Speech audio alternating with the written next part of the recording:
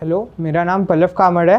अ, मैंने 11 twelfth vibrant academy से की है और मेरा मेंस फ़र्स्ट अटैम्प में टोटल मार्क्स 271 और मैथ्स में 96 मार्क्स थे और सेकंड अटेम्प्ट में 276 मार्क्स टोटल और मैथ्स में 100 मार्क्स।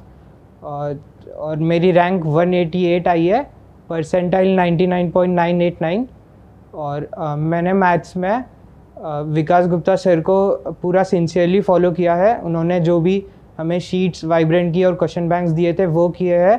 मैंने विकास गुप्ता सर की ब्लैक बुक पिंक बुक और येलो बुक की है।